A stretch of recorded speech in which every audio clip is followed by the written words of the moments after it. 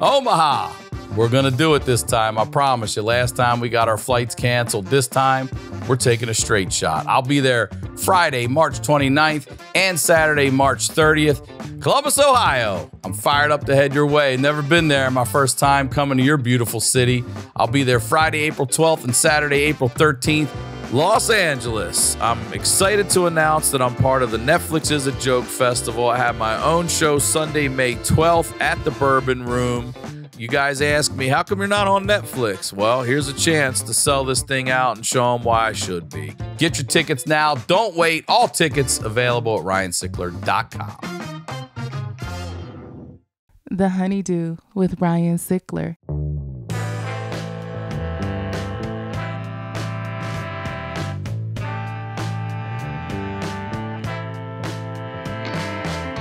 Welcome back to the Honeydew, y'all. We're over here doing it in the Night Pants Studios. I'm Ryan Sickler, ryansickler.com, and Ryan Sickler on all your social media. I'm going to start this episode like I start every episode. Whether you've been here, whether you're new here, thank you. Thank you for supporting the show. Thank you for supporting anything I do. All right. If you got to have more, then you got to check out the Patreon. It's called The Honeydew with Y'all, and it's this show with y'all. And I'm telling you, every week I say, we're not going to hear something different. And every week, you guys deliver. It is the craziest stories you're going to hear anywhere. It's five bucks a month. All right. You also get this show a day early. You get it ad free, no extra cost. That show's been five bucks a month since we started. It's hundreds of episodes for five bucks. All right. Uh, and the way back, the new podcast. Thank you guys for supporting it. It's crushing right now. I love that you're enjoying it. We've got more and more coming for you. So make sure you subscribe to that and come see me on tour if I'm in town when you're around. All tickets are available at ryansickler.com. All right. That's it. That's the biz. You know what we do over here? We highlight the lowlights. I always say these are the stories behind the storytellers. I am very excited to have this guest on here. First time on the Honeydew. Ladies and gentlemen, please welcome Jim Norton. Welcome to the Honeydew, Jim. Thank you. Thank you. This is long overdue. This is something I've been waiting for. I'm, I'm a big fan. Thank you. I love all you New York guys from back in the day, especially. Yeah. I'm surprised I asked you before we started talking. You said you're 55. You look fucking great. Thank you. Yeah, I um, years ago I started putting lotion on, and I quit smoking. Like those are probably the things that helped me. I quit smoking in uh, I like 2001. the lotion was before Oh, yeah. the smoking. yeah, put put lotion on, skin cuticles every night. Um, I'm like an old lady. you have a skin routine? Yeah. Do yeah, you yeah, really? Yeah. Yeah, Jim Norton has a bedtime facial routine. I do because good skin. Like I, I've always been kind of smooth. It's like the only thing physically I have going for me is is the fact that my skin is smooth. Anything else is a disaster. It's interesting. Anytime I've had a, a lady touch my arm or something, say your your skin's smooth. I always think like, what are you touching? Like alligator? Like what are other dudes doing out there? That I know. right? yeah, for me nice it's more like just smooth skin Jim Norton. no right. hair, like little Yeah. just little baby tits. You know, I think that they uh I think they like that feeling, that smooth, soft feeling of a boy. Before we get into everything, please plug and promote all of it. Uh, just the only thing I'll promote is I'm on tour now. I have a bunch of dates, jimnorton.com if you want to. Uh, I mean, I'm on the West Coast, I'm on the East Coast. And also, um, my wife and I do a, a YouTube channel. It's uh, at Nikki and Jim NYC, N I K K I and Jim NYC. And that's what I'm doing with my wife. So if you want to see it, it's just a little slice of life shit. But it's fun to do and something I've wanted to do for a long time. Well, you're really resonating with me because again, before we started recording, we were talking about you just got married. Yeah. You're 55. I'm 51. Well, I'm 51 in, in March, but I've never been married. Uh, been engaged, but never been married. And you said, man, I never even thought I would do it. Never lived, no, No. kids, no nothing. And then all of a sudden, you find someone that shifts everything for Right. you. Yeah, I never so wanted it. age is. Did you ever? Did you ever age your? Did you ever put a number on yourself, a cap? Like if it didn't happening by fifty five, I'm I'm not even gonna try. Yeah. or I'm shutting off. Did 19. I said, it doesn't happen by 19. I'm finished. Never. 19. I didn't want it. I didn't want it. I had no desire. Every married guy I talk to is miserable. It's always the, the lack of sex and the and just the fact that everything dies. Uh, I just didn't want to do it. But my fiance at the time was from uh, uh, Norway, so she couldn't get in the country. We were having a whole thing over a minor marijuana issue. So then someone said, "Well, do a fiance visa," and I'm like, "That means I really have to get married." Um, so in 2019, we got engaged, and uh, We got married two years ago here in the states once she got in, but uh, I'm glad I did because I actually really like it. I like being married. You do. I never thought I would. Yeah, like when I when I want to go off and do stuff, like if I want to just like jerk off or look at escort ads or do any of that stuff, I'm like, okay, I can't do that stuff because there was some fun to that. But the the what I get from being married is worth it. Yeah, the Like, trade-off The is trade off is worth- worth Yeah, it. yeah. A little. It's Yeah. not a, not by a long shot, but by a little bit. Being married beats my old life. My old life was very lonely at times. Yeah. Sure. But there's also something to be said about, and I get this too, even with comedy, it's a solo sport. Everything's independent. You grow into these things that you like and your ways of doing things, and you don't want to change necessarily. You don't want to buck what you got going. It's Right. not the worst. It might not be the best, but God forbid something could come in here and ruin all of this I Yeah. got going on. But you left yourself open. I did, yeah, and and I really had to make a decision. How much do I like this this woman I'm with? Like, um, we knew that a fiance visa is the only way she'd be able to come in and visit in the states. And then in the pan, she was staying in Canada, and I was going up and visiting her every weekend. I would drive up to Montreal. I'd do radio Monday through Thursday. As soon as the radio show was over, I hop in the car, drive to Montreal, spend Thursday, Friday, Saturday, and drive home Sunday morning and repeat. Um, and I went up there March of 2020. My producer said they're going to close the border, so that I wouldn't have been able to Oh, go see her. So I just drove up with a suitcase and I stayed for 15 months. I stayed in Canada the whole pandemic. I was broadcasting. I was on an ISDN line broadcasting because we weren't allowed at Sirius. Sirius XM had said no more. So for like a week we were home. So the fact that I like I was already not allowed in the studio anyway because of COVID, it just worked out. So I was forced to live with someone for 15 months. And I'd never lived with a person before. It really was crazy. It was like one day I was living by myself, and then the next day I'm just living with someone in Montreal. For, it was that quick, and it didn't. I didn't have time to panic and fuck it up. I was just there and living it. So uh, the, the pandemic was great for me. Like it, And so, we allowed to go up there and stay that long? Americans can go for six months, and the And then we Cana- have to get it renewed or something? renewed yeah and the canadians are great. Like they're really they're panicky about covid but they allowed her to come in even though she had that little marijuana thing. They allowed her to have a student visa so she went to school um, and i wound up just renewing every time. But what Yeah, happened they're strict because I know buddies that have had DUIs that couldn't go do JFL because they can't drive across the board. You can't get up there with a DUI. That's down here. right. Very Yeah. strict about that. But a little marijuana, her charge was so small. They said they just wanted to make sure she had paid the fine. It was like a hundred dollar fine, and they let her in. It was not a problem.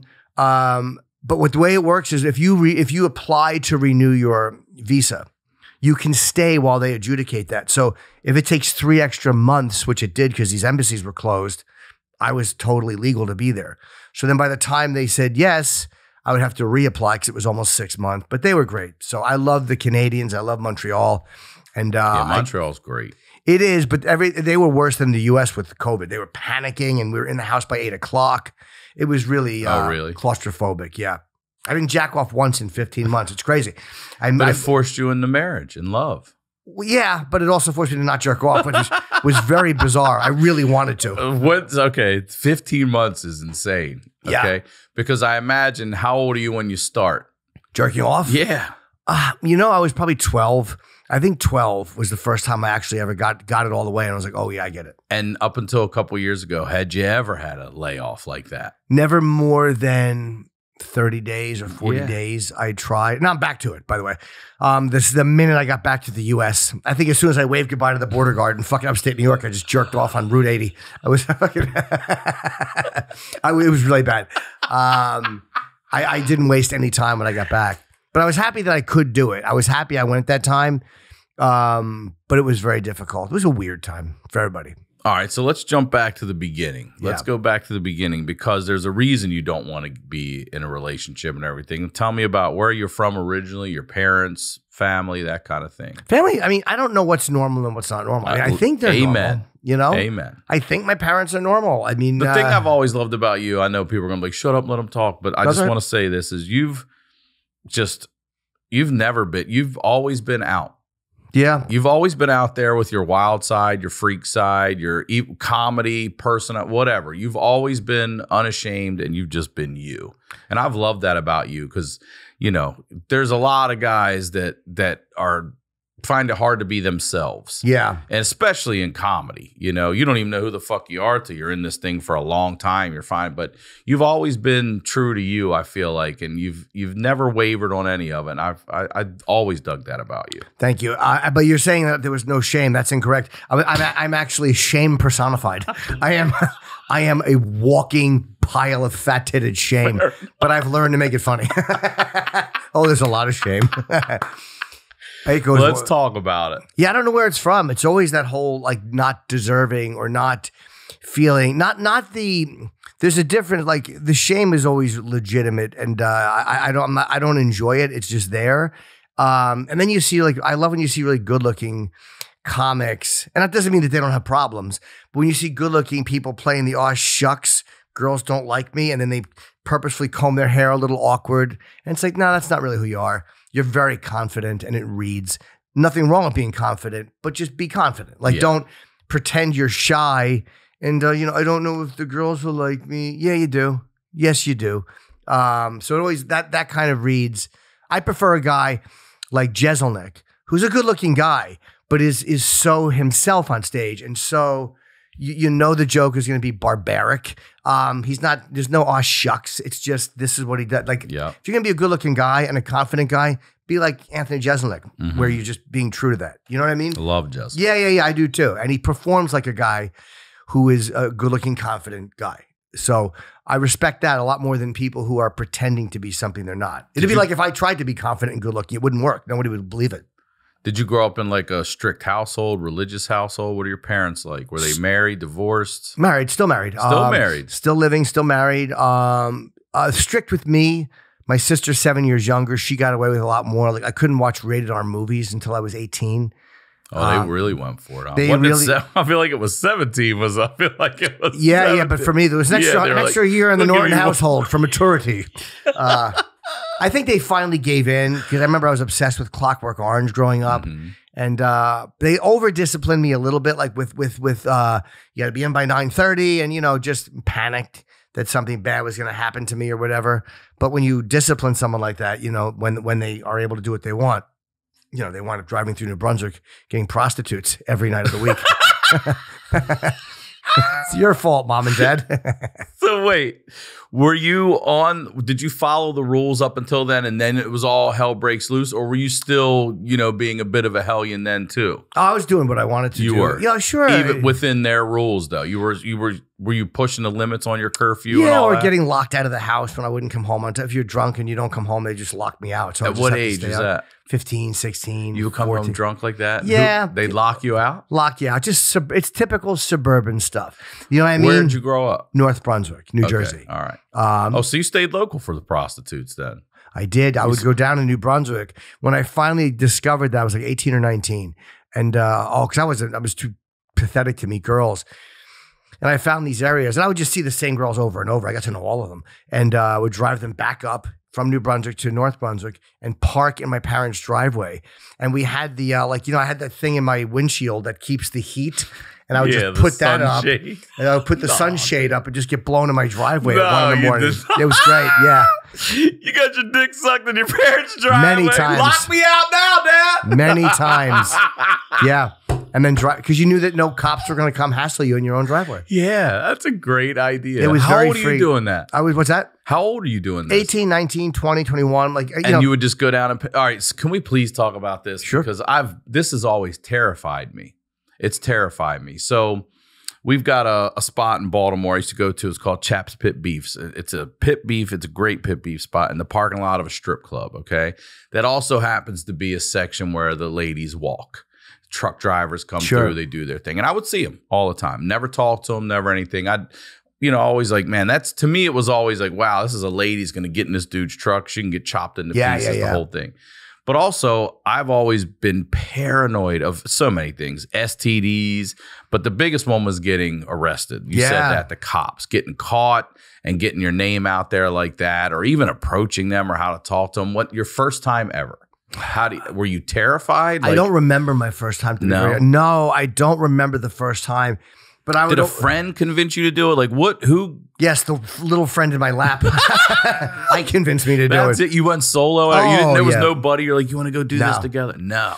No, but I would drive around. For me, the whole ritual was just kind of looking, and I would talk to them, and they would have to talk to me through the window first, and I would have to know.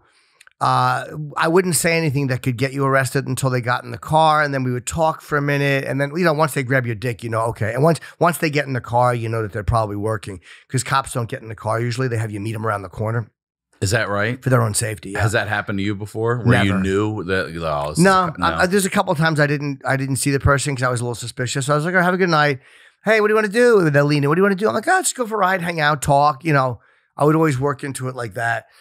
Um, but I really, I you know, I get attached very easily. So I met these girls, and I would see the same girls all the time. And uh, my favorite part was after the sex, I would always enjoy talking to them as I drove them back. Like that would be my favorite part of it. It was sometimes I wasn't even horny. I was just lonely and I didn't know that I was lonely because a guy, you're like, I want to come, but I really didn't want to come. I wanted to just be with a girl. So I would go down and hook up, or even if I just jerked off. And uh, I would just love talking to them as I drove them back. That was my favorite part of it. Most times. Sometimes I just needed to. They probably liked it too, to be honest with you. Yeah, I was easy. I Yeah. mean, I was easy. I was clean cut. I wasn't fucking dirty. I mean, I wasn't into Right. anything crazy. Um, you know, I wasn't into you know being shitty to them. Like, yeah, eat it, bitch. You know, it's just like, you know, just blow my little suburban dick, and I'll drive you back, and we'll chit chat, and I'll try to pretend you were my girlfriend. That's all. Did you lose your virginity to a prostitute? No, I lost my virginity to a girl I was dating uh, in high school. I, I don't remember the first sex. I was probably drunk, but um, I remember I was wearing a hat because I had cowlicks. I hated my hair so much, so I had this hat on. And she was like, "Can you take your hat off?" I was like, "Oh yeah, I did." And I, we made we had sex. It was probably not good for either one of us. Then she started banging my Jamaican friend not long after. It was very hard to deal with his big long dick. I was very very upset. So what's uh what were you like in high school? Class clown. You That- were yeah, yeah, oh, yeah, yeah, yeah. Um, oh, you know, I, that's what we do, right? It's it's like I'm I'm not going to do well. Uh, I didn't graduate. I dropped out senior year. you did why? Rehab. I went to rehab, and I was just a problem, and I just was so disconnected from all of it, and All right, so, so, let's unhappy. rewind a little bit more then. When do you start what were you doing? Drinking, drugs, Drinking, all of drugs. it? My what dad- age you starting that?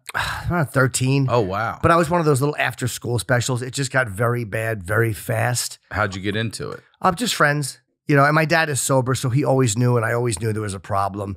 Just you know, pulling razors on people and just doing things that you don't normally do. Wait, Like, your dad would do that? no, I would You would pull what do you mean? just box cutters. It was just again, I was just a crazy little person. Um, but why are you doing just in out of anger? Yeah, no, misguided. In the house or the neighbors? Oh, no, or no, just fights? people outside, um, pulling knives on people. Like I'm so glad I didn't get my ass. Like I'm really You're lucky you're not dead. I know. Yeah. I know. I That remember- sounds like shit somebody would shoot you for, especially in in, in Jersey. Not where I live though. They No. were always, you know, they were the same as I was. Again, just you know, little little suburban idiots. Um, but yeah, I got very fortunate. I got sober when I was 18. Um, yeah, but it cost me high school. I I, I didn't graduate, so Have you ever know. gone back to get your GED? I did three years into being sober, but I wound up not needing it. I mean, so I, I mean, that's as far as I ever went. I never wasted time in co- not that college wasted time, but for me it would have been. I didn't want. I wanted to do this. At what point are you putting a rehab and everything? I was 17. I mean, was it an intervention or you Yeah, just it was go? like a suicide attempt that was quote unquote a suicide. It was more of a notice me again. You know, Yeah, but what'd you do? cut my wrists. You did. Yeah, yeah, yeah. Bad. I mean, bad is when you actually let yourself bleed out. Uh, blubbering uh, idiot who wants to be noticed is what I really was. Um, so yeah, it was embarrassing after a while. I was embarrassed.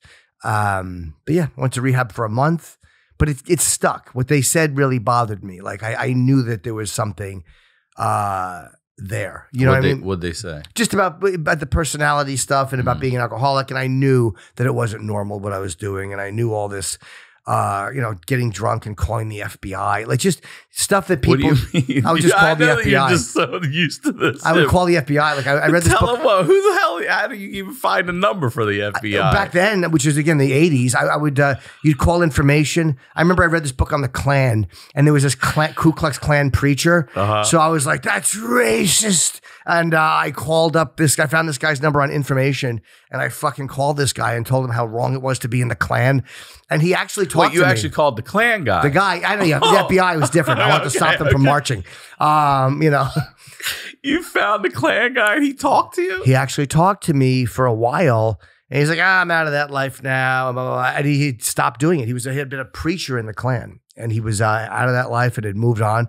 But this is where you'd call four one one and get the number and and make the phone call. So yeah. It was uh, a lot of that phone stuff, and thank God Twitter didn't exist. Thank Oh, God there was no social media Yeah. when I was a drunken. That's why I hate all these people going after people for shit they said as a teenager. Like, all right, if you're 61 and you tweet something, all right. But if you're 17 and 18, fuck you. Guys Yeah. going after teenagers for that dumb shit. You're talking to people who've been born into a world where internet has always existed for Always, them. yeah. That's like a free the highways to us. You know, like, wait, we can get on a freeway and go somewhere now? Yeah. Yeah. Yeah. Before you couldn't do that shit. People I- don't get it. I still remember the first time I downloaded a golden shower video. It was my parents' gateway computer, and I didn't know anything about like I the paths where these things go. So I just downloaded this fucking golden shower piss video, and I had no idea where it was on the computer. I'm like, I didn't know where the downloads went. I Yeah. just thought it would be on the desktop. So uh, yeah, I mean that's how I remember computers coming into it. And in high school, uh, they they were teaching MS DOS prompt, and I floppy wish I disk and floppy all disk and all of it. What was it? Was Lo- was it Lotus? Don't remember. Was there one called Lotus? I feel like we learned a Lotus, but MS DOS. Yeah, I remember the first Apple computers they would bring in, and this guy would teach us in seventh grade. He was on it. Like we, his name was. Sp- I don't, probably shouldn't say it. his Mr. Spike was his Yeah. name. But this dude brought in little. They were little tiny apples. They were like that. That uh like beige color. Yeah, yeah. You know, with the bubble screen. It was just little shit. And this dude was like, "This is gonna be the future." And we're like, "Whatever, bro." Yeah. Dude was on it. He was right, and I He wish I had right. learned it. Even though the stuff you learned back then, you you would have had to continue learning because nobody wants you know to to to prompt in or you know when you would get the uh, that awful sound of the the fucking modem Oh yeah. starting up, which was actually a great sound because I knew like as soon as I signed in and I was on AOL, I was like, now I can get to porn. I can get to porn and chat rooms and just I was just jerk off reading what everybody said. It was great. What um do you so do you lean into that once you become clean and sober then? Is is, Yep. is porn and sex your new thing? It was was the first thing. It was that the was first. the first thing from childhood. So you you went clean and sober on everything else, but you're like, well, this one's the one we're gonna keep. It right really took off. Like I mean, but the whole my whole uh, young life, it was there. I mean, from childhood on, it was the like the first addiction. It was the first secret, if the first thing that felt good, and first thing I was ashamed of. You know, all of it. But uh, yeah, when I got sober, I mean, that just and I could, I had mobility. I could drive, and I had a you know a phone. I could talk to other adults. You know, then it really went. I remember ordering phone sex. I forget I had to go take a money order out and I had to send in a money order and they sent me certified mail with these phone numbers to call that were good for 30 days. Um, and so I was doing phone sex for for like I, I literally was calling women in, in California on a payphone to try to jerk off on my way to work, and I didn't realize that it was like two in the morning there. Uh, here, uh, so yeah, it was. A, I I really wish I had the conveniences. Forgot about those those nine seven six or nine hundred numbers or whatever. This right? was 30 days of phone sex for one price. It was like a yeah. hundred Tell bucks. me what do you mean? You and you never got ripped off from that? You'd spend a hundred bucks and then you date. How long would it take you to get jerk off? You got to get the mails involved. it was the, the U.S. mail, certified mail, certified. and you would call a bunch of different gotta numbers. You had to sign for it. Yeah, you had to be Yeah. there for it. Dude. Yeah, I had to be there when the postman Yeah. came. But it came, and I will still never forget getting that and being so psyched that it finally came and all these numbers, a bunch of different phone numbers because they probably had a bunch of different. I never women. heard of this one. Okay, so then you got 30 days with this set of numbers, and then that's it. That's You it. They call would expire, dick's yeah. content. Yeah, that's right. Wow, Um, but they would be cranky a lot of times when I would call. Yeah. You want to talk dirty now? I remember one girl, she was so late. It was seven in the morning in New York. I didn't realize it was 4 a.m. but uh, yeah, that, that's how you had to do it back then. That's how you had to do it. It was very, very tactile. It was a very tactile experience. So you've been clean and sober since 18, 87, yeah, 1987. 1987. February 1st, yeah. And there's been no relapses. None. You don't look forward. You No. don't care. That's- No, I mean, But this is a tough world. I, I always admire comedians, especially that can be clean and sober in this world, because it's just everywhere you go, it's there. Every, it's our job is making sure these people are doing the thing you don't do. It's readily available. Yeah. But I also learned from watching other guys who have fucked up things or ruined opportunities or been really drunk. And you know, when you see people handling things poorly because they're fucked up, I'm like, yeah, that's that's the uh, the upside of not doing it is I'm not doing that. Mhm. For all the mistakes I've made in the business, I'm not doing that. You know, so yeah, I, I mean, it's e- hard, but it's also easy when there's so many teachers around doing things wrong. Yeah. Then again, you see Ch- Chappelle smokes a lot of pot, and it certainly hasn't hurt him. Yeah. So there's always the people who it doesn't affect at all. So tell me about relationships for you then when you're just chasing that dragon, so to speak, of the sex. Are you dating at all in your 20s or are you just Yeah. always staying single? I- Did you f- ever fall in love? Oh, sure. Yeah, You yeah. did. The first girl I you dated said you fall easy. for sex workers. I did, yeah. Oh, for sex a lot of times, yeah. And other girls I would get attached to easily, but sex workers you had an immediate access to, so you could Mm-hmm. connect, and then like, oh my god, maybe she likes me, you know. Uh, but yeah, I had a girlfriend uh, from uh, I guess eighteen to nineteen, or tw- first girl was six months, and I fell in love with every girl I dated. Like I really did. I mean, any girl I was in a relationship with, I fell in love with. But you, when you st- when you use people like a drug, like when you use people to like validate you, and when the when the high is in the chase, once you have them, you enjoy it for a little while, but then you start looking around because you want the next thing. It's like compulsive eating or anything. You know, I never want one cookie. When I get it, I want the next thing, the next thing, the next thing. It's like now I'm 55, I'm collecting Kiss posters again. Like my midlife crisis uh, is fucking old Kiss posters. You got the one where they're the uh, military one where they're all wrapped up. You know, That's the what I'm talking 76 about? tour Yeah. poster. And not only do I have that, I have that factory sealed. Yeah, there's there's two of them. One says US tour and one says US tour 76. I just remember Peter Criss with the yeah, yeah, little and the- drum. Yeah. yeah, yeah, yeah, it's a great poster. yeah. I have that. I, I didn't hang that one uh, up. I the like the Suits is great too. Dress to Kill is a great one. That's a great album That's and a a, great It's a good album and a great poster. The poster's better. Um, one of the yeah, one of the posters from the Dress to Kill era is one of the most valuable Kiss posters. But anyway, yeah, I became re-obsessed um, recently. My wife fucking hates my poster. She hates it. I mean, uh, you know, this just framed in museum glass. Then frames are worth more than the posters. I'm an ass. like I'm an absolute ass, and I know it. Goddamn idiot. But you know, it makes me happy. It beats Rolexes. It beats spending money on cars. It beats spend. You know, you spend a few hundred on a poster and it's irrational. But there's a lot more expensive hobbies to have that could hurt you financially. This is one I can live with. According to the CDC, fewer men than women meet the minimum daily intake recommendations for fruits and vegetables, and men are more likely to overvalue exercise and undervalue nutrition. Enter Ritual, a multivitamin scientifically developed for men to help fill nutrient gaps in their diets. I take a Ritual multivitamin every morning. I take two of them. Helps me start my day off right. I've been using them for years. They've been around for a long time too. And again, y'all must like them and use them because they're here and I love them and you love them. A science backed multivitamin for men 18 plus with high quality and traceable key ingredients in clean, bioavailable forms. 10 key nutrients in two delayed release capsules per day, designed to dissolve later in the small intestine, an optimal place to absorb nutrients. Plus, it's gentle on an empty stomach with a minty essence in every bottle that helps make taking your multi actually enjoyable. Essential for Men is a quality multivitamin from a company you can actually trust. Get 20% off your first month for a limited time at ritual.com slash honeydew. Start Ritual or add Essential for Men to your subscription today. That's ritual.com slash honeydew for 20% off. Now, let's get back to the do. Um, your parents, you said, still together, still alive. Yes. So you, you had a relationship example of, you know, this, you know, so to speak, perfect relationship in your house. Yes, And weren't interested in that at all, huh? zero interest. Zero interest. Yeah, I you mean, ever talk to your parents about that? Like, how the hell do you two still? Do you ever talk about that? No, um, I never thought to. I mean, I, I assume it's because they're from a different era. And, you know, it was a little people who got married in the 60s and the 50s. For them, it was like, well, it's a lifelong commitment and that's it. Um, and then they, you know, they had me and they had my sisters. So where were they going? I mean, I guess they could have got divorced, but I mean, where were they going really? Yeah. Um, You I know, feel but- like you're such an outlier. Does your dad ever talk to you about that shit? No, I mean, uh, I'm not good on the one on ones with family. But as open as you are on these microphones and everything they could hear you say, they don't ever come up to you and be like, your dad's never like, what's it like to have a sex worker? No, no, no. The only thing they've ever asked me was uh, when I started going on Opie and Anthony. Uh, the first time I was on, I was Dice brought me on, and it was a phone call.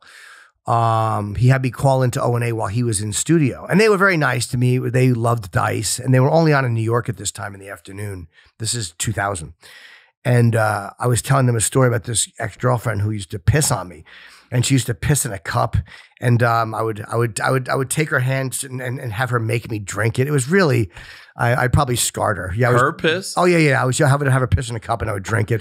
You scarred her. Yeah, yeah, yeah. I, I, I, I'm scarred if she's ever seeing that, I apologize. I really loved you, but I was thirsty.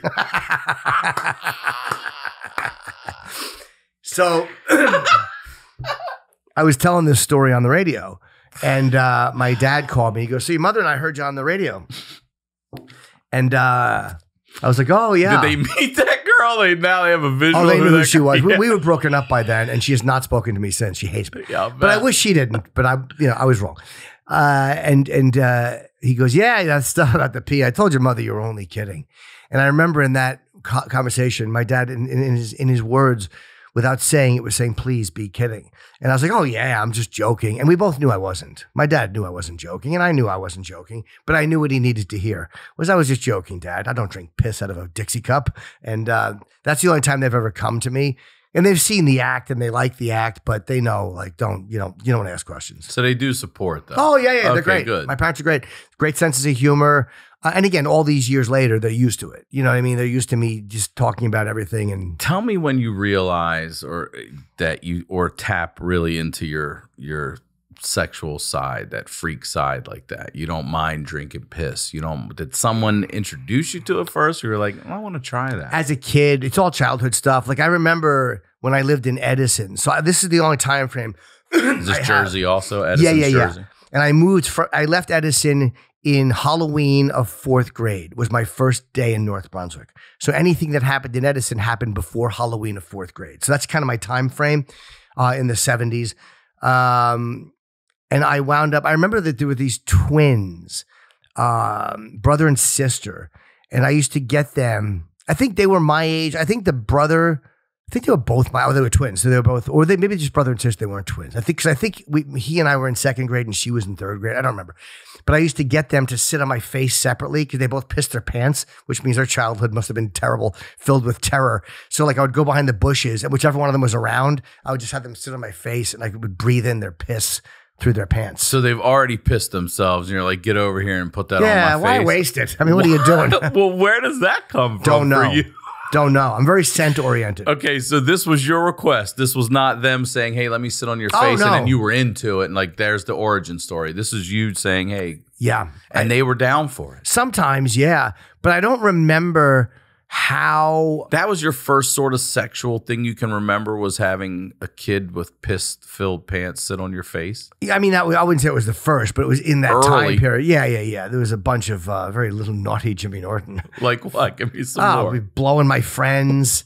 Fucking, oh, I was a fucking, on, you said friends with an S. oh, friends with an S. Yeah, oh, yeah, yeah. Multiple friends. Yeah. How old are you doing that? Se- first, second, third grade. Wow. Yeah. You're terrified. My daughter's in third grade. I'm terrified. Want to wrap this up right now go get her out of Little school. girls are probably better. They're probably healthier than I was Definitely, at that I age. believe that. Yeah. But also, those boys, like you are in those classrooms. That's Yeah. right. Yeah. And you don't remember where that comes from? No, I remember my therapist is they've all told me I was molested, but I'm like, eh, I kind of liked it and I did like it. And there's a couple of kids I did it with that I was scared of. So wait, you're they're saying that you doing this as a child was molestation. with sexual abuse or whatever. But I'm but like, what yeah, about prior to that? Were you abused it prior to that? not to my that you can knowledge? remember. No, no. And um, I don't think that every deviant experience is based in abuse. I mean, maybe, but I don't remember it, so I can't pretend it was. I mean, a, a couple of them, maybe a couple of the uh, older kids like that were like kind of bullies. Maybe that was like I remember being very afraid of them, and then maybe you just learn to like it. I don't know. But In first grade, second, Second grade, yeah, yeah, yeah. You're, you're performing oral sex. oh yeah, yeah, yeah. I- I- and and are they doing it back to you as well? most of them did. Yeah, yeah. Really? Yeah. Oh yeah, they were good eggs. I mean, and no. But by fifth grade, nobody's like, "This guy sucks dick." Did oh you boy, are you kidding me? By second what? and third grade, which is why we left. I mean, it was. Because in the seventies and eighties, that is you're getting your ass kicked I got if you called a f- a the lot Kmart, as a yeah. kid. You can't say f- now, but believe me, in 1978 you they could. said it to you. Oh, did they on a megaphone? A lot. That's why I love this sensitivity to the word. It's like you have no idea. I, I don't want to hear it. I, I Mhm. mean, you know, I got. I, I remember being chased and having to jump on my parents' car because they were going to beat me up because I was like, "You sucked his dick," you know. Um, Did you ever have parents talk to your parents about this? Not to my knowledge. I mean, I don't even know if they knew that their kids were little cocksuckers running around Edison. It's a fucking blowjob club.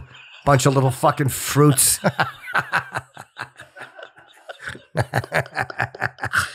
Oh, so not to my knowledge. I mean, man, that's so young. I'm just sitting here with my head spinning. It's so young for anything. My It is, first, yes. My first French kiss. I didn't. First of all, I didn't even know you could put a tongue in someone's Sure. mouth. My first kiss was a black girl. We had moved to a new place. It was between the summer of fifth and sixth grade. I'm in sixth grade. Well, I'm in like that summer. She's a year older. It's a kid that lives next to us, his older sister, and she and I kiss, just lip kiss. Yeah. Then I have a girlfriend, you know, sixth grade girlfriend. We just go to movies and shit. And in police academy, she shoves her tongue down my throat, and it it did what whatever happened to you that early on happened to me in that moment Yeah. where I was like, "This is awesome."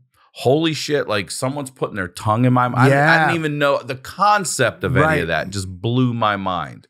And then I was like, "Oh, that was sort of what awoke me to all that sixth grade." But you way early. And Yeah. you don't really remember what what it was. The you just first knew what one, you no. liked. I knew it felt good. Um, it was a dirty secret. I always like scenarios. like I, I like set like in porn even. I like a scenario, a lead up more than the actual sex even. I've had a, many, many sexual experiences in my life, but I haven't actually fucked nearly as many people as I could have because so many times the scenario and the lead up is what the turn on is to me. Um, I guess because back then we had to make, we had to, we had to hide or we had to do things sneaky. So I've always kind of like that angle on it because that's how it was when you were a kid. You couldn't let other kids know. But anyway, I get out of Edison when I was in fourth grade. So that reputation didn't follow me to North Brunswick, which was great. So you can start over. Right. Um, you know what I mean? There's a whole new crop. a whole new crop of Yeah. dicks. And young vaginas too. Uh, pussy scared me at that age though. So that's what I want to ask you. Your first sexual experiences were boys only at first. No, there was girls too. Like, were. but they, but they were a little harder to get into. I mean, I remember the the the the, the girl who would sit on my face with tinkle in her pants. I loved her body. Uh, she was again a year older than me. And I remember being like trying to get her to sit on my lap because I loved her smooth fat ass as a kid. Like I was a big ass fan because a girl put my face on her ass when I was like in, in either second or third grade. And I remember how cool it on up in felt. Oh, I know. We were in the woods and she put her big dumper against my woods. face and I loved it. But it changed my whole, that became like a lifelong fetish, a nice ass on my face all from that. from that moment. That yeah, I remember the moment. I was kneeling by a tree and her, she put my uh, my face on her big ass cheek and it was the temperature difference was so cool and I just liked it. It just felt so like different than anything I'd ever felt. Um, I didn't know that I should have buried my face in it. I was just a boy. Just rested. But I learned. I learned as time went on. You know, open the cheeks, you goose. Get in there. Make sure she didn't miss anything. Oh my god. So how old are you when you lose your virginity to a girl? Intercourse, 18. 18. Oh Yeah. wow, that I would not that surprises me I right know, there. I know. Blowjobs, everything else way earlier, but intercourse, Why? 18. Don't know. I think I was scared. Yeah. I was scared of sex. I'm gonna say you probably had the opportunity to lose it much younger. I would say. Yeah, by a few years. I mean, again, the experiences I was having were so many like little weird sexual things. There wasn't a whole lot of fuck opportunities. Um, but I also knew that there's pregnancy and there was other risks with Mhm. that. Um, and I think I Also, we're the AIDS generation. Like that got pumped into us in high school. At least for me, it was like AIDS. Like that can happen. It You wasn't- die. at that point for me. It was No. a few years after that. Okay. Right, right, right. But it did come along after that. But I don't remember AIDS being a, a concern. We were both virgins. For a week, it was a big concern. I feel like in our school, everybody's like, and then after that, everybody's like, "We're just we're 17 and horny. What do you want us to do?" I know. After Magic Johnson caught it, you're like, you know what? We're all dead. yeah. Let's just let's just enjoy it. Yeah, Um, but yeah, 18 years old, the first time I actually had intercourse. and that was with a girlfriend. Oh yeah, I really loved her, and uh, you know, it was uh, she's somebody I'm still friends with. It's funny, like we're still friends. We talk. She lives. Uh, she moved out of the country years ago, but um, yeah, it was my first uh, intercourse was with her, and I loved it. What about first intercourse? Did you ever have sex with a man I have, yeah, but not. I wasn't big on anal as sex an adult? Yeah, yeah, Yeah. I've done everything. I Yeah. mean, uh, yeah, I mean, my wife has a dick. I mean, it's like so it's like, you know, it's been a part of who I am. What do you prefer?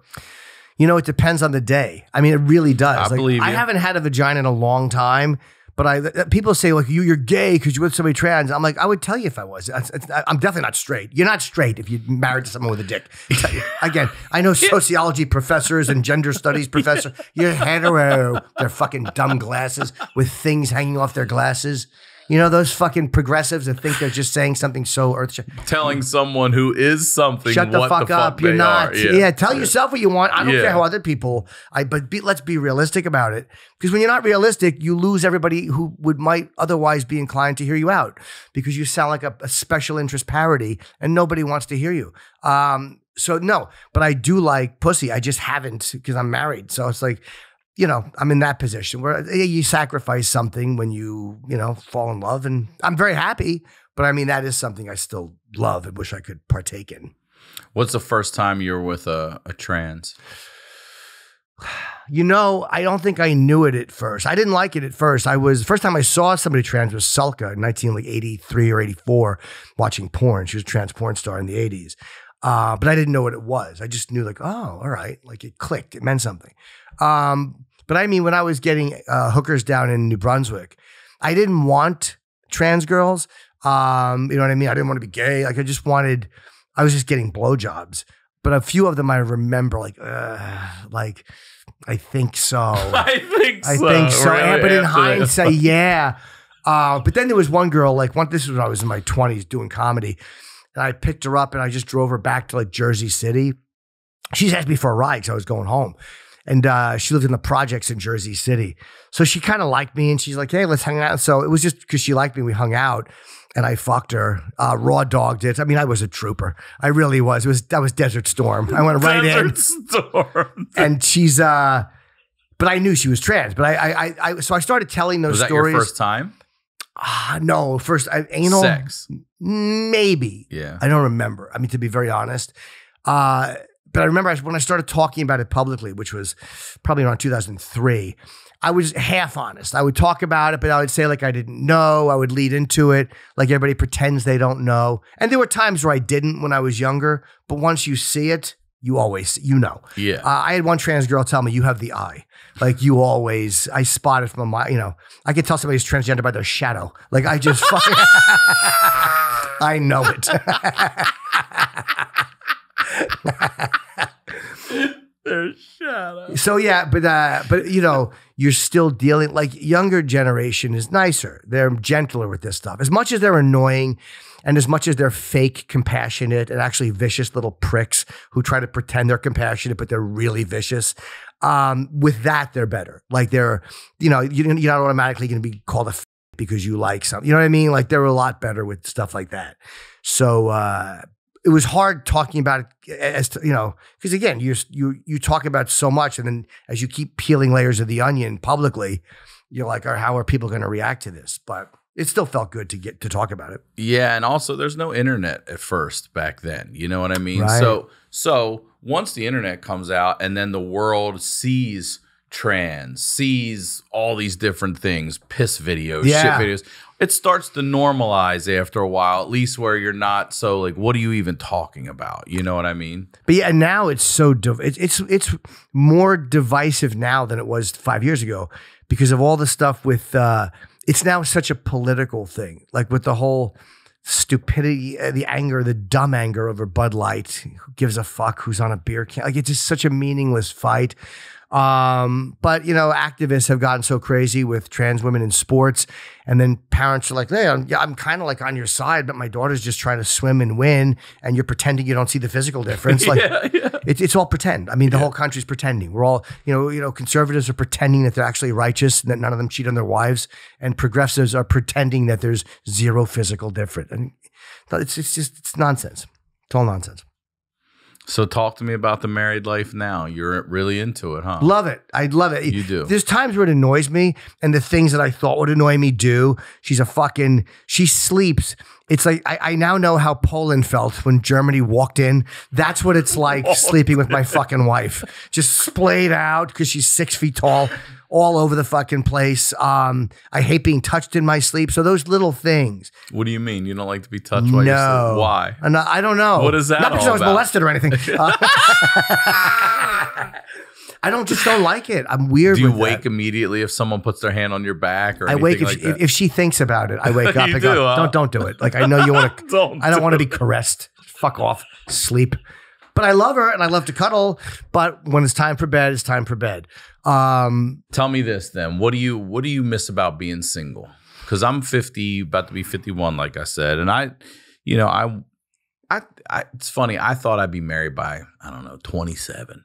You know, Right. growing up in Maryland, you know, by 30, whatever tops. I'm still not, but I'm I'm open to it. I'm not I'm not one of those people. It's like nah, I don't give a shit. right. Because also, if it happens to me at 70, I only got to live with that one person for what? How Absolutely. many? 10, 15 years? Tolerate I him got for a that. few years. I don't Spend know all if the I money. could put up with someone for 60 years. Like, do you ever, you ever ask your, you don't, your parents how they do that? You're right. They're from a different era, but still, these days, they could just be like, nah.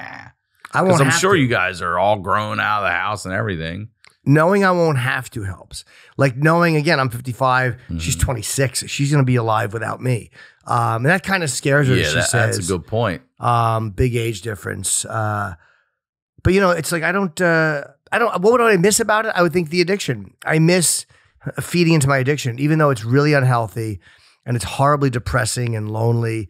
Um, you know, I haven't cheated on my wife. Now, any guy would say that, but I can tell you, I've cheated on every other partner. Um, I have not had sexual. I haven't touched another person. It's insane that I haven't come with another person. You know what I mean? I've done like I've watched porn, text message, like you know things I shouldn't have done, but I have not cheated on. It's fucking insane to say that as a person who's cheated on everyone. So I miss that. I miss the addiction sometimes. I miss running out and doing what I want and calling an escort. Like, but I I just don't want to do it because I'm afraid I won't stop doing it. Um, so you like that chase. You do. I love it. Sure. I mean, even though it's really unhealthy and it always makes But me even feel picking lonely. up, even going back to picking up a prostitute, there was more to it than. It's a different mindset than seeing a lady at a bar and having to walk up to her and hi, I'm Jim. And, Yeah. You know, what you know, and try to strike up that small talk and everything. Like all that bullshit's out of the way. no, you have that. worker. You have it a little bit too with them though, because I was ritualistic. Like a- okay. I would pull up. I would only talk to them if they came in on the passenger side window. Um, Why is that? I don't know. It just became like this If they OCD came to thing. the driver's side now. Occasionally, but mostly the passenger side. I also felt it was safer to put distance between us because Mhm. you don't know who you're dealing with. Um, and you could just have a little conversation for a minute before they get in. Or there were times where women got in the car and we would drive. Um, and I realized like, yeah, I'm just, I'm not that attracted to her. I don't want to do this. So I would pay them anyway and just drop them off and go, you know what? I got to get home, but here, take it. And they never minded. Yeah. Um, so I liked the conversation. I always liked the conversation. I always liked hanging out, talking a little bit. Um, this way, the sex feels like it just feels like more connected, I guess, uh, without the burden of real connection.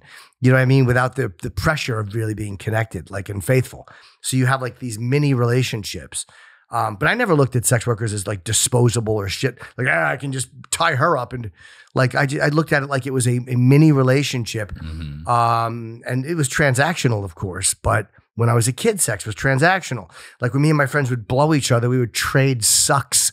Um, What do you mean? we would count sucks. One, two. Oh, yeah. Yeah, yeah. And then it's like, hey, I gave you 20. You got to give me 20. And he would give 20. Yeah. Holy shit! where are you going to do this stuff? This was in the woods in Edison. Um, there was so many places, hallways, hallways. Where? in apartments. I lived in the apartments growing up in Edison. oh, like a complex. Yeah, yeah. Gotcha. I mean, we'd always find. I mean, look, when you're a kid, if you want to blow someone or get blown, there's always room. You can always find a place to trade sucks. So it was like a transactional thing, and I didn't realize that until you know the last few years. Like sex was always transactional for me. It was always. I guess with the bullies, it was a way to not get beaten up. To have these, because there was two kids in particular, one really who I was terrified of, and I would do that to him. So my therapist, I think, pointed out to me that that was like a transactional thing. That was, I'll do this and you won't You do don't that. kick my ass. Yeah, God. but I guess I've associated pleasure with it, so I didn't realize that's what it was. But it became, I guess, so that was where it started being transactional, and then trading, uh, twenty for you, twenty for me, and that was just how it carried on through my life. Like it just transactional became the way sex was.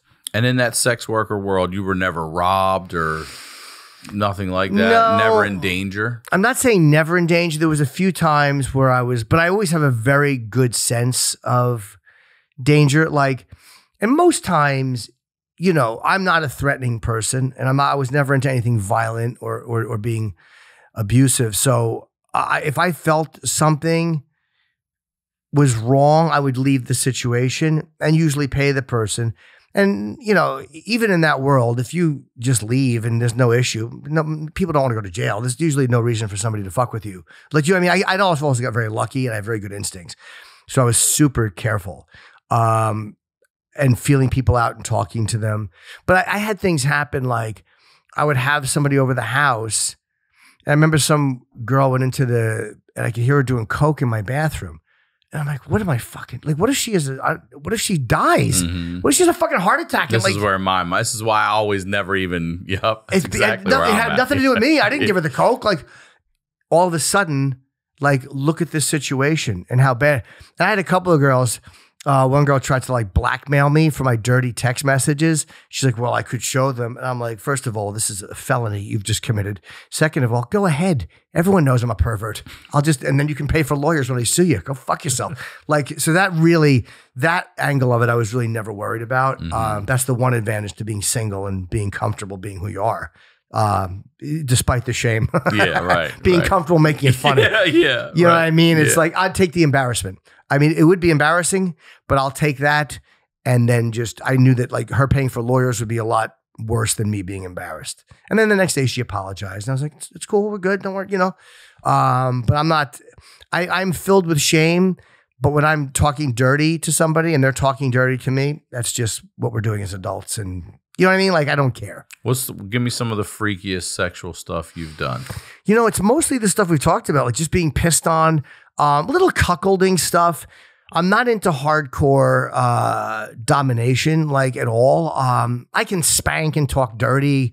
I've done that type of stuff, but I'm not a dominant person sexually by nature, unless it's verbal. I'm really good at that. Like, and I'm very good at, at playing those roles. But physically, I would much rather be a sub. Um, strap on, I could never really do. Um, I dated the dominatrix once, and uh, she kept trying. Dated? Oh yeah, we really became like a real relationship for years, and she quit the business, and she wanted to peg me. Uh, but I just kept hurting, and I was just so ashamed that I couldn't accommodate her. Um, she had a purple strap on. I would run in the bathroom, you go fucking Jim, and I was like, "Sorry, I'm sorry," you know. sorry, sorry, my little hiney hurts.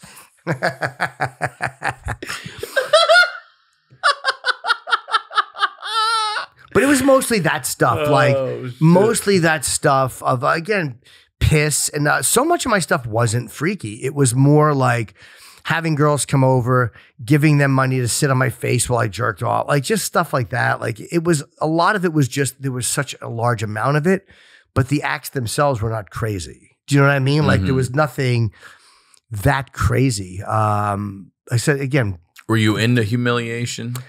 Not doing it unless the woman was really into it. Mhm. Like for me, the turn on and stuff like cuckolding or any type of humiliation is if it turns her on that I'm seeing this really sexy, dirty part of her. Like that she's so there's a really weird, it it may be a lie, but it feels like intimacy. Like when someone is letting you know that they have these bizarre fantasies or these really dark thoughts, it's like you're that turns you on and it turns me on that it turns you on. Like not the actors. Mm-hmm. I've had women talk about things that didn't turn me on at all, but the fact that they liked it, I was like, oh fuck, like that's so hot that I know more about her than somebody she's worked with for 10 years. Like she's a school teacher and she wants me to piss on her. Like no one knows that about her. But yet she's giving me that private thing. Like, so there was something so connecting about that. And I didn't realize at the time, like, it really was a search for some kind of a weird connection, but it was the endless search for, Well, it goes back to doing that as a kid, where you're hiding what you're doing and getting that pleasure too. Yeah. You know, the woods, a hall. You what you said. If you want to find a spot, you'll find a spot. yeah, the sneakiness of Yeah. it. Right. So knowing the secrets. Right. You're in on this, and I'm in. I won't tell if you don't tell. I won't Yeah. tell if you don't tell. And somebody sharing their secrets with me really would turn me on a lot. Um, and I loved it. So yeah, that's the type of stuff where uh, we can you can go anywhere in fantasy. It's great. Um, and and it's funny how many people will shame people for things they like sexually. And I, I don't I don't mean things that are hurtful or fucking kids. I mean like just Yeah, things that are you know, weird or, or S and M related or any of this stuff. Um, I mean, there's guy. I, I don't understand a lot of it. You know, the woman I dated who was a dominatrix, she said there was guys who wanted their balls kicked. Like, That one blows me away. I don't I, get watch it. these Japanese dudes online where um, they'll have they'll lay in their tighty whities yep, and they'll have these cute um, Japanese girls in like bikinis or whatever and high heels, and they fucking just stomp, yeah, stomp, stiletto in the bag. stomp, Yeah, stomp the and then dick. some of them come. And I'm like, how in the fuck could you come in that kind of paint? Like that's wild. Yeah, what's what brain? then you got yeah. What's crossed? What wi- That's- what wires? Right. Right. What wire is touching the third rail and and and and redirecting what this feeling should be to your pleasure center? Like that should be unpleasant and fearful, and yet that one stray wire is touching the third rail and it's just And it's, it- it's putting the current in the pleasure center. Yeah. Yeah, it's wild. Yeah, and I have that with a lot of things too. But I, I like I, I go through phases like feet. Um, for a long time, I was into feet, and, I was never into feet. But then I When you say into them, fucking them, Nah. looking at them, Uh, kissing so them, licking silly. them, what? smelling them What's and licking them? them. Uh, but, but ju- just fucking them, I would feel like such a boob holding two feet together while she does an ab exercise. Oh, an ab. she's fucking probably sitting there, her back hurts, doing core work, so I can fucking I can get a new high. Poor girl. No, I was never. I, I've done that stuff, but then after a while, like I like sexy big feet on a woman. Um, and then all of a sudden, it just fades away. Like you know, you you just run through periods where you're like this and periods where you're like that. Like I envy people who aren't like that. so like you have cycles. cycles, there you go. Not not feet aren't your fucking thing No. forever. And I don't you feel know what I mean. Right. And I like the idea of being submissive with them, but I'm not like a real like, oh, you're tootsies. Like I'm not like like that. It's more it, it like one woman I used to talk to was really dominant and liked to make guys wear panties, but she liked it. So it turned me on. So I would do it because it turned her on. But if it didn't turn a woman on, I would never just show up in thigh highs and go, huh? What are you? What do you think? Who's the pretty girl? Um, like James Gumb. Um, it has to be very, very much their thing hmm because somebody doing something just for me, I never really liked uh, because that's not the secret. I'm the same. Yeah. I'm the exact same. And also, they have to be comfortable with you enough and safe with you enough Yes. to tell you that thing, and hope to God you don't shame them or be like, "What the fuck are you talking about?" Yeah. I think I and, and that's one thing I've heard probably because I've been open about my own shit. I've heard that from so many women have told me these things about themselves that are really private and really would humiliate them. But I think they know I'm not going to judge them. Like I'm never going to say, eh, like even if it's not my thing, even if it's something I'm not necessarily into at all, I'm not going to scold them because they get turned on by talking about it or by thinking about it or by watching videos of it. Like, you know what I mean? I think they knew that they were at least safe to tell me, right. and the response would never be, What? You fucking never. And I didn't ever. Um, and I've heard some things that just weren't for me, but you know, hey, if you want to fuck a horse, if you can find one, God bless. Have you really had people Of say, course. "Yeah"? Of course. Yeah. Uh, but I don't even think they would have done it. They just liked the idea of it because they were dirty. So they knew they could explore that. And if they told me I wouldn't care. Again, it doesn't really turn me on. Like, ugh, fucking horses smell. Yeah. The big dumb animals. I don't want, I just, it's not my thing. But if that's what you like, go ahead. I don't care. This has been awesome, dude. Thank I you. gotta tell I didn't you, mean to clone. I on the horse it's fucking. been very enlightening to sit and talk to you about all this, but I wanted to. I've been wanting to talk to you Yeah, about this all is this. great. Thank you, man. Um, Sure, thank you. Your first time here, so before we wrap up and promote everything again, Yes. advice you'd give to your 16 year old self. Take an acting lesson, you blinky little idiot. You blinky little. Take a fucking acting lesson, you fucking no audition landing fool. Stop playing with your nipples. It's going to be a lifelong obsession. Stop it. I would tell myself that. All right, that's great advice. I've heard deep advice from people. Love yourself. For me, take an acting lesson, continue to hate yourself because it's going to make you a lot of money someday, and stop playing with your nipples. that's great, dude. Thank you. Thank you for doing this. Thank you. It was fun. Um, please promote everything again. JimNorton.com for dates. I got I got some gigs in California here, like Monterey, Petaluma. Um, I got uh, Rogan's Club uh, in March. I'm doing the mothership. I got Pittsburgh, Houston, Dallas. Um, Buffalo is on sale now. I got uh, kind of everywhere. Indianapolis, Oklahoma, all these places I haven't been to or haven't been to in years. Kentucky. Uh, so I hope people come out and see me. All right. And uh, Nikki and Jim NYC is this YouTube channel I do with my wife. And it's just little pieces of our lives because everybody seems to have an opinion on what a relationship like ours is like. So we're just showing like little slices of it. That's it. Hope people All like it. Thank you again. Thank you. Uh, as always, Ryan Sickler on all your social media. Come see me on tour. Tickets are available at ryansickler.com. We'll talk to you all next week.